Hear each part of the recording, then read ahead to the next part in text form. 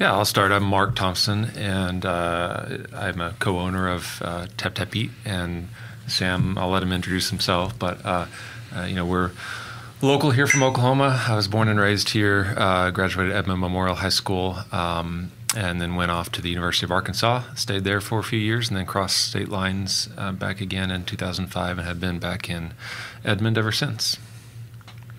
Uh, Sam Dech, uh, also a, a, co-owner, co-founder of uh, Tap Tap Eat. Um, moved to Oklahoma in 97, 1997 uh, to go to Southern Nazarene University. Um, and been here in Oklahoma pretty much since. Uh, a lot of family roots uh, from Oklahoma.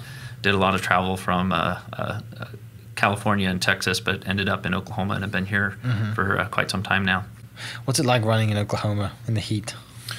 Or do you just? Cause I, I mean, you gotta, it's heat and wind. Heat here. and oh, yeah, yeah, true. Let's not forget running at Lake Hefner in a into a north wind is miserable. yeah. Cycling is also miserable yes, as well. Yeah, I, I, think it makes you stronger. Yeah. Um, I've always looked at it as like it's just another obstacle, another hurdle. Mm-hmm. Like if you're having to get up at five to beat, you know, the potential 100 degree weather, yeah. you know, and it's 80 at 6 a.m um, I think it just makes you a tougher runner. Mm-hmm. Um, same thing with the wind. You know, it's I, I know uh, Mark and I we would line up our races. You know, post post college career mm-hmm. in some of the best weather we could. You know, like you'd go out to Stanford or Walnut, California, or you know Indianapolis at 11 p.m. on you know in the summer, and it's just beautiful yeah. weather to go race a mile in.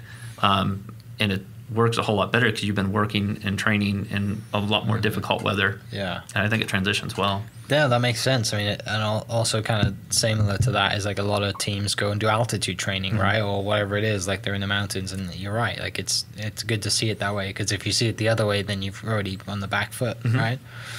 Is that a term? Did I just use a running term? Wow, that was the back not, foot. Yeah. That was that was not intentional. I promise. No, I actually, I actually learned. Surprise. I actually learned that from Sam a little bit. Um, mm-hmm. Moving over to Fayetteville, the weather was a little bit nicer over there. It's just not not quite as harsh and windy. You know, the average temps in the summer are five degrees cooler, and so when I came back here, kind of reluctantly for my running career anyway, mm-hmm. just because there weren't as many people running around here um, at that level um, I, I, would complain. You know, I, I, hated running in the wind and in the heat, and yeah. I, I, was kind of mad. I was frustrated by that. It's like, well, I have to be here, and I do want to continue my running. But I remember distinctly, you know, Sam saying, you know, it's just going to make us better. Like, yeah. bring on the wind. You know, I'm like, what are you talking about? just, let me complain here. I just want to be in my own. Well, running's such a mental thing too, Nick, because you're alone. You're in your own thoughts. You don't listen to music when you run. It's just you and your breath. Yeah. That's it. You know, and like the birds or the wind.